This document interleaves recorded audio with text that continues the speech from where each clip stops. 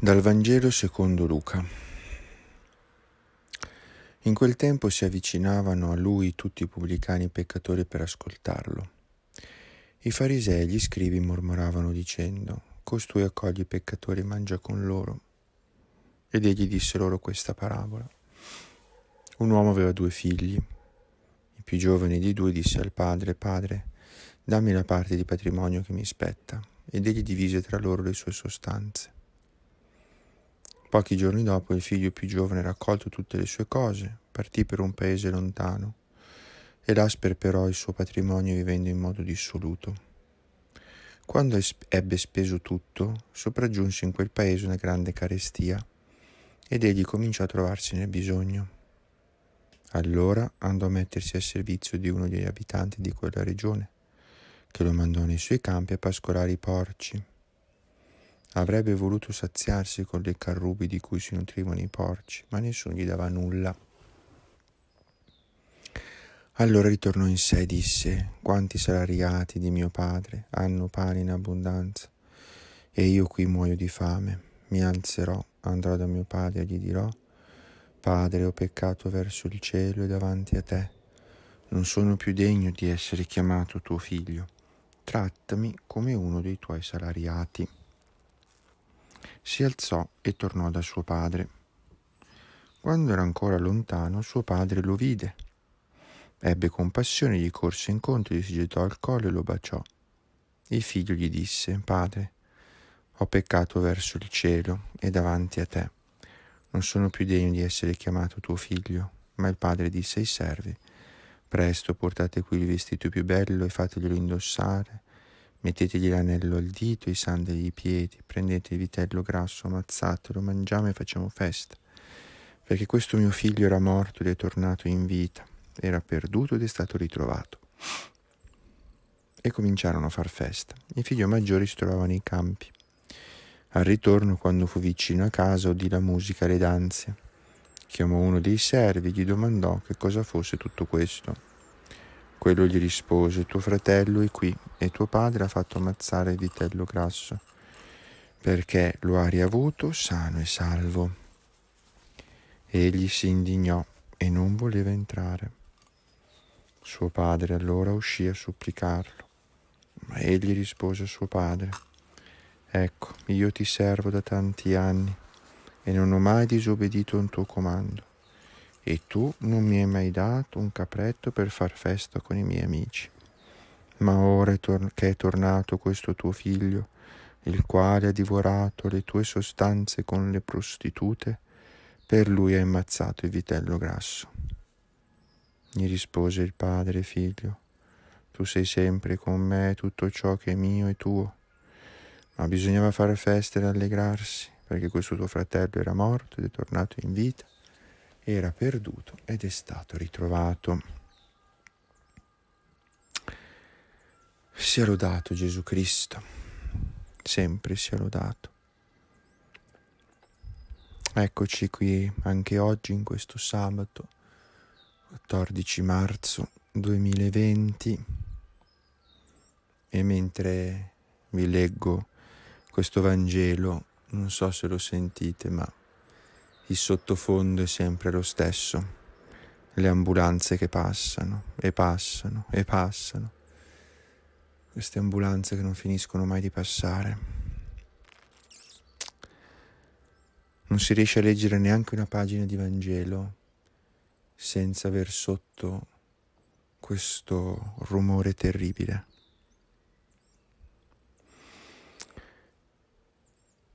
In questo capitolo quindicesimo del Vangelo di San Luca,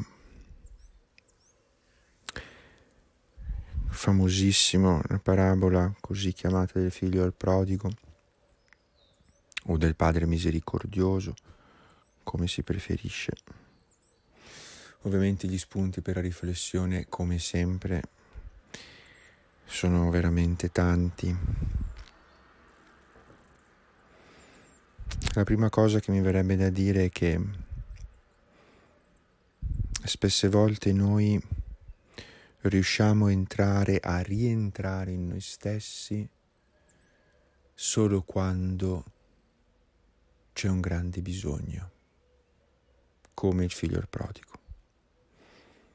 Solo quando comincia a trovarsi nel bisogno, a causa di una grande carestia, e solo dopo aver speso tutto, cioè non avere più nulla, essere in uno stato di profonda indigenza, tale per cui si mette a mangiare addirittura, cercare di mangiare addirittura le carrube dei porci, che veramente vuol dire essere arrivati proprio al fondo del fondo, allora, allora rientra in se stesso. È una grazia poter rientrare in se stessi. È una grazia poter riflettere su se stessi, potersi fare un esame di coscienza. E purtroppo, purtroppo siamo così superficiali, come dicevamo nei giorni scorsi, che neanche ci accorgiamo eh, di dove siamo, di dove siamo.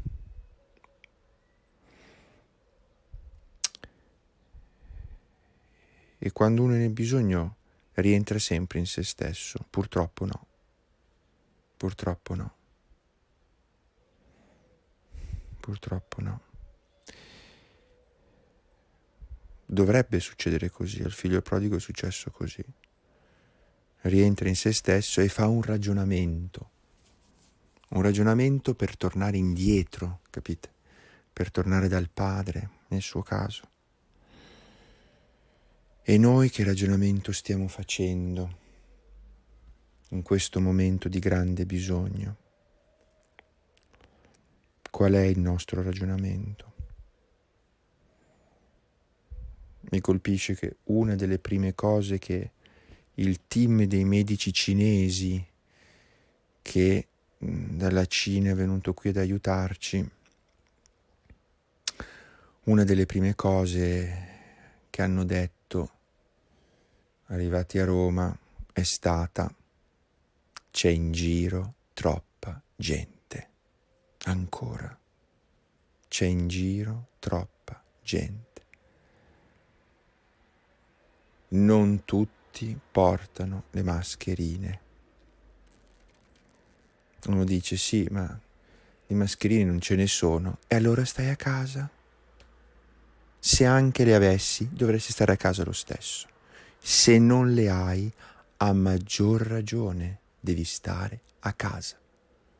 Niente, noi siamo in giro.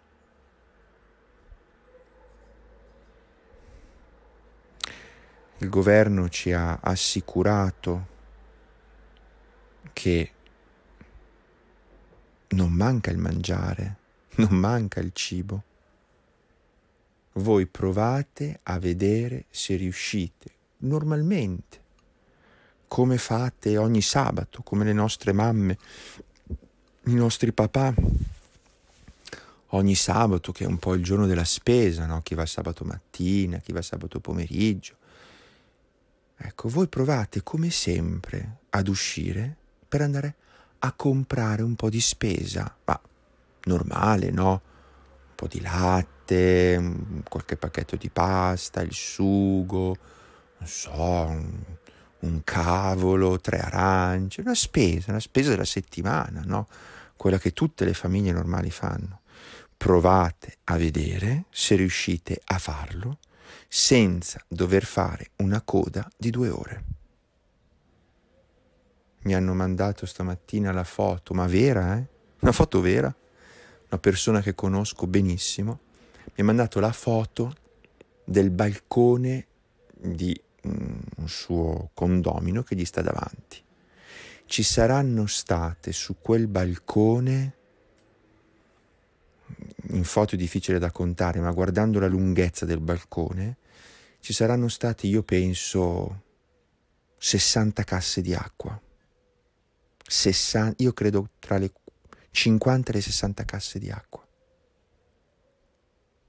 Io Dico, evidentemente pensano che eh, si, fe- si, si prosciugheranno anche le falde acquifere.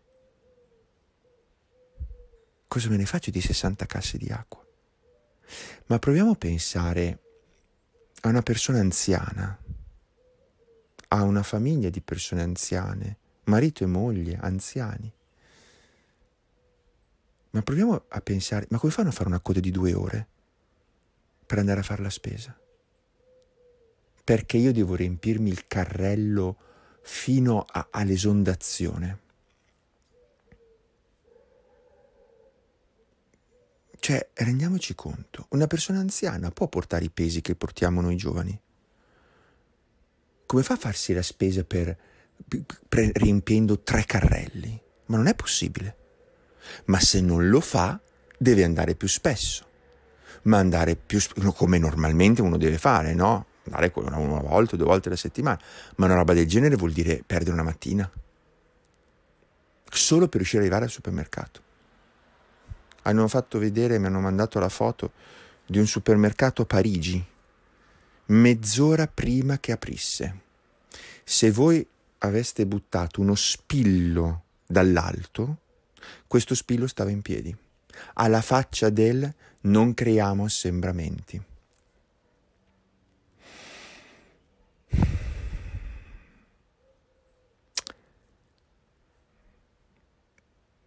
Questo non vuol dire aver capito, essere rientrati in noi stessi. Vuol dire che ancora non stiamo capendo. Noi non stiamo capendo e non siamo rientrati in noi stessi.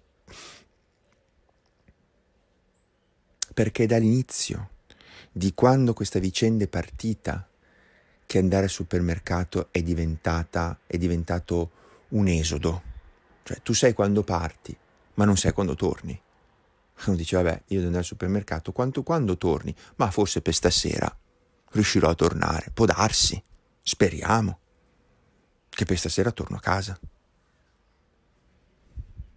Solo due mesi fa, solo un mese e mezzo fa non era così. Ma cos'è cambiato? Capite? Invece di cambiare le abitudini sbagliate, abbiamo cambiato le abitudini giuste invece di cambiare l'abitudine del uscire, fare quello che voglio, e invece stare in casa, e quindi stare in casa, ho cambiato le abitudini giuste che ancora di andare a fare la spesa. E quindi vado a, a, all'ammasso, proprio mi butto dentro come se, se non ci fosse un domani. Eppure non c'è bisogno. Non, c'è, non siamo in tempo di guerra. Non siamo in guerra per cui non c'è più il mangiare, non c'è più il cibo. Capite? Non, non siamo in questo stato. Oggi c'è una sola emergenza. Stare in casa. Paradossalmente i supermercati dovrebbero essere vuoti, no? Capite? Cioè, nel paradosso, no? Per cui uno dice, sentite, mettiamoci d'accordo, siamo, non so, due o tre famiglie di amici, ci, ci chiamiamo e ci diciamo uno di noi va a fare la spesa e la fa per tutta la famiglia, ma non la spesa nella logica del domani scoppia la bomba atomica, ma la spesa normale, una spesa settimanale per quattro famiglie. Certo, sarà abbondante, ma sono quattro persone in meno che si muovono. E se ne muove una sola. E invece no, ognuno pensa per sé ognuno pensa per sé, ognuno si muove secondo i, i suoi stili, i suoi gusti.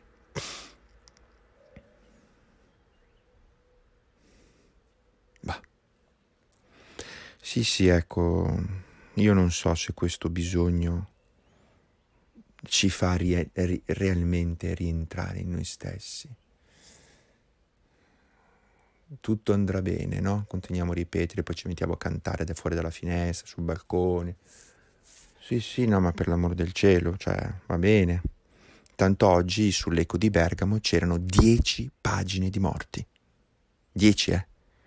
Dieci facciate piene di persone morte. Dieci facciate. Quando nella normalità ce n'è una. Dieci. Con tutte le famiglie annesse, connesse, distrutte dal dolore e dal lutto, di non poter neanche andare a vederli, di non poter neanche fare un funerale, di non poterli neanche salutare, di non poter neanche mettere un vestito addosso. Niente, neanche quello. E noi ci diciamo che andrà tutto bene, che vinceremo, cantiamo.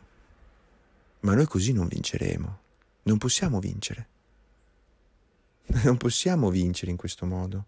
Non si vince perché lo diciamo, non si vince perché ce lo ripetiamo,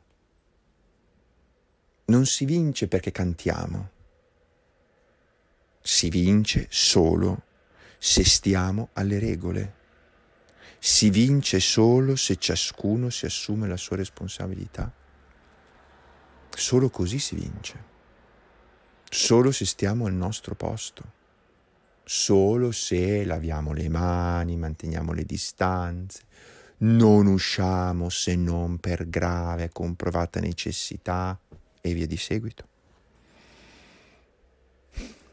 Questo bisogno, perché è un bisogno e non capiamo che più, post- cioè meno radicali siamo e più questa cosa andrà avanti, capite? Meno capaci di sacrifici siamo oggi e più sacrifici ci verranno chiesti domani.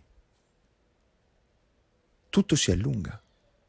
Quello che si potrebbe risolvere in due settimane si risolve in un mese, due, quanto, non si sa. Perché non siamo capaci di fare veri sacrifici. Il sacrificio oggi qual è? Stare in casa lavarsi con accuratezza e frequentemente le mani. Se oggi la mia preoccupazione è festeggiare il compleanno del mio bambino e non ci siamo, non ci siamo, non ci siamo. Non è questa la nostra preoccupazione oggi. Festeggiare un compleanno, festeggiare una laurea, festeggiare una ricorrenza, andare a trovare gli amici, no, ma io sto bene, no, ma anch'io sto bene, e vabbè, ma dai, allora vediamoci, siamo tutti e due, stiamo bene, facciamo insieme una cena. Non si può, non si può, non si può perché il pensiero non può non andare alle persone che stanno male. Non si può, non si può, non si può non pensare ai medici, a quelli del 118, ai soccorritori, alla protezione civile che rischiano la vita minuto dopo minuto per noi. Perché parliamoci chiaro, questo virus non è che vola nell'aria, no? Non è che si apre le finestre e viene il virus in testa. Se l'hai preso, da qualcuno l'hai preso. Quindi, capite? Cioè, eh, Certo, non è che siamo qui a fare il capitolo delle colpe, però due conti dobbiamo farli. Ce li dobbiamo fare due conti. Un conto uno dice, vabbè, ho avuto un incidente, sono caduto, ma non era colpa mia, proprio scivolato sull'acqua, e vabbè. Ma se... E allora non va bene. E quindi lui rientra in se stesso e torna a casa di suo padre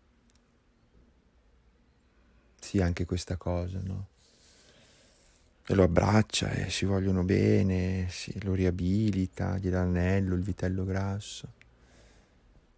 Non è forse anche questo il tempo di ripensare i nostri rapporti, le nostre relazioni? No?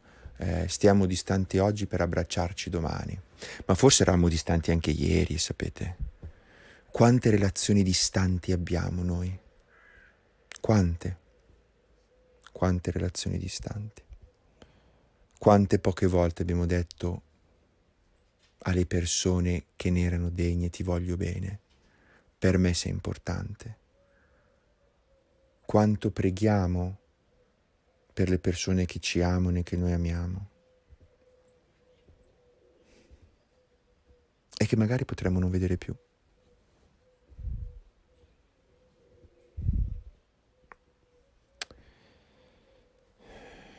Questo bisogno di riabbracciarci, no? Sì, sì, ma io tanto, tante volte in confessionale sentivo e questo mi è antipatico e quello non lo sopporto e con quello non vado d'accordo, no? quello non lo perdono e quello non lo sopporto, e, eh, vorrei che morisse, vorrei che non ci fosse più nella mia vita.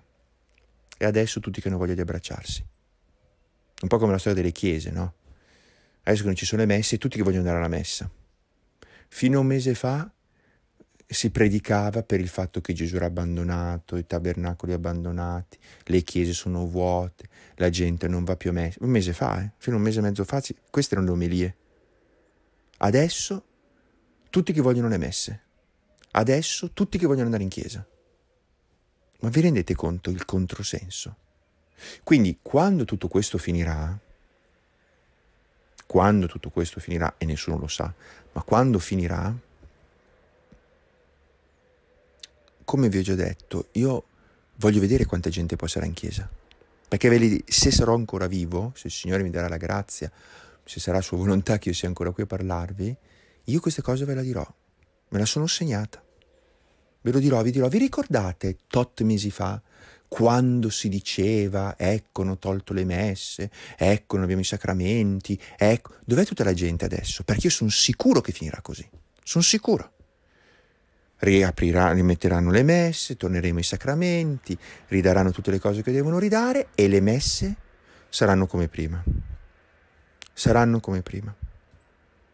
Saranno come prima. Purtroppo è così. E le chiese saranno come prima vuote.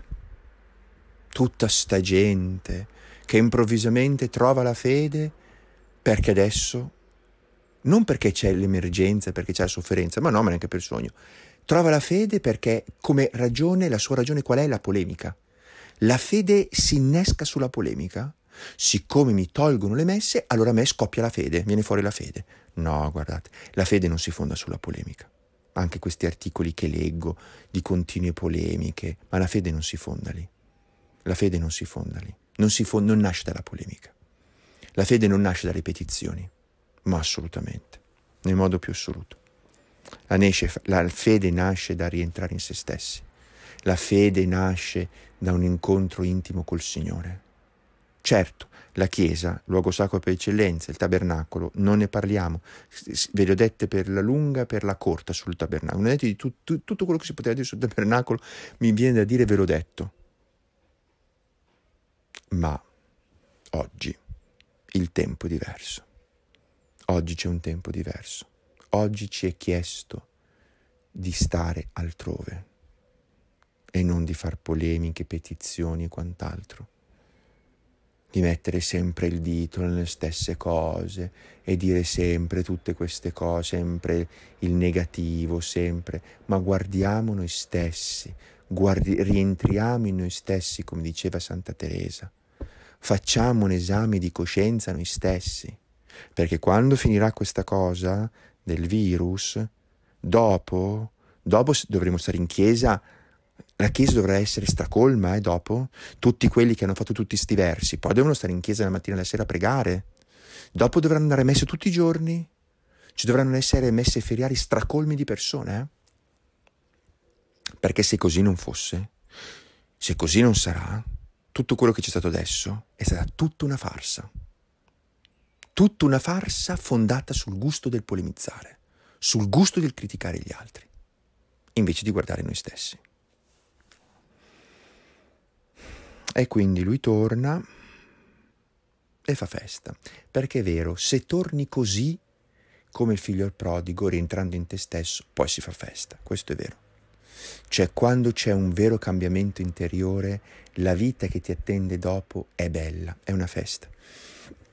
Io credo che chi vive bene questi giorni di Quaresima, come una vera Quaresima, segregato, certo, perché è una segregazione, eh? è una piccola prigionia, una prigione dorata, ma è pur sempre una prigione.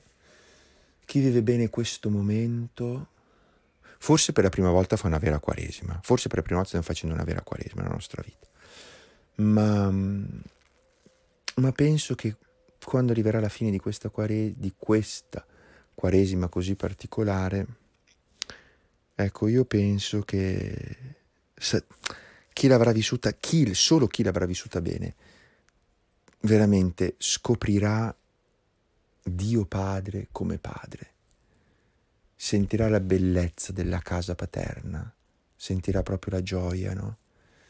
quella gioia che viene da un cuore nuovo, da uno sguardo nuovo sulla realtà, da uno sguardo nuovo sulle persone, da uno sguardo nuovo sullo stare insieme, da un, da un cuore più ordinato, più ordinato, più rigoroso, più attento all'altro, più onesto, meno superficiale, più sensibile al tema della morte, al tema del dolore, più sensibile al fatto che è una grazia poter avere accanto qualcuno quando si muore, è una grazia, è una grazia non morire isolati. Ma questo solo chi avrà vissuto bene questo momento. Questo è veramente il momento del silenzio, del grande silenzio. C'è poco da ballare, da cantare. Non, non si esorcizza così la morte, io non credo che si esorcizzi così la sofferenza. La sofferenza non ha bisogno di essere esorcizzata, la sofferenza ha bisogno di essere assunta.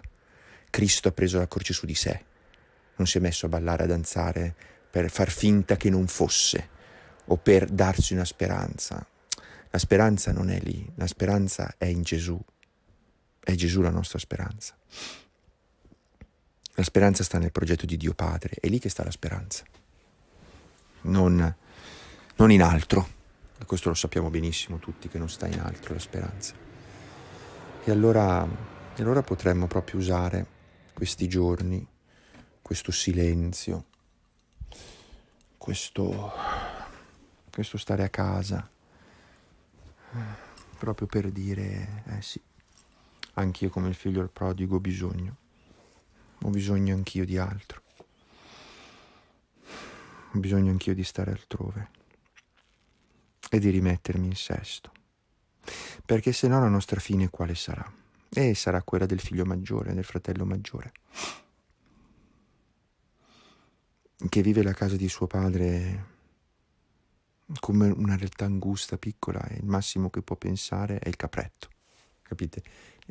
Il padre parla del vitello grasso, lui vede un capretto per far festa con i suoi amici, non vede altro che un capretto. Ha un cuore piccolo, un cuore, come dicevamo ieri, no? un cuore mischino, un cuore gretto, e non riesce a vedere altro che un capretto, non riesce a vedere tutta l'estensione del padre, non riesce a sentire la comunione col padre, ma solo il dovere, non ho mai trasgredito, non ho mai fatto, non ho mai detto. Ma la casa del padre è una casa innanzitutto. E il padre è un padre, non è un latifondista, è un padre. E come tale si comporta col figlio. Ecco allora la vigilia della domenica, di questa altra domenica di quest'altra domenica di Quaresima e di silenzio. Ecco, stringiamoci a San Giuseppe, alla Madonna,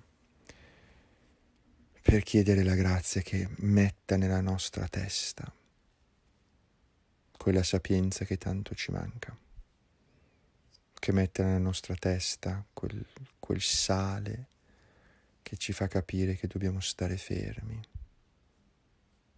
dobbiamo stare fermi, dobbiamo stare dove siamo, dobbiamo pregare, certo, stando fermi, stando al nostro posto e uscendo proprio il meno possibile. Accordatevi, avrete degli amici magari vicini, no? Accordatevi con i vostri amici. Dite dai, facciamo a turno. Una volta esci tu, una volta esco io, una volta esci un altro. Ci mettiamo insieme, facciamo a turno e poi magari abitate anche un po' vicini, e poi esce uno e fa la spesa per tutti. Dobbiamo andare in farmacia, non serve che andiamo in farmacia in dieci, non può andare uno per tutti. Accordiamoci, mettiamo insieme le cose che dobbiamo prendere, poi uno va e va per tutti. È un po' come la cosa dell'andare a farle, farsi portare la spesa a casa, che oggi è impossibile, perché mi hanno detto che oggi in supermercato qua vicino hanno guardato per farsi portare la spesa a casa, è il primo posto libero tra due settimane, capite? Tra due settimane. Eh, però la logica è la stessa. Eh? Eh, se non si può far così, inventiamocela noi. Eh, uno dice, mettiamoci d'accordo in quattro famiglie, tre famiglie, due famiglie, quello che è. E va uno, o una volta va uno, una volta va l'altro. Lo fa per tutti. È come portare la spesa a casa. Così diminuiamo le possibilità di, conte- di contagio, diminuiamo le uscite, diminuiamo... E così finalmente anche a questi medici, a questi sanitari, alla polizia, daremo una possibilità di, di respiro, di respiro, poter tornare anche loro a casa non dopo 15 ore di lavoro, ma poter togliere un po' di sofferenza anche loro perché sapete, vedere la gente morire non è bello, eh? vedere la gente soffrire non è facile, non poter fare niente non è facile.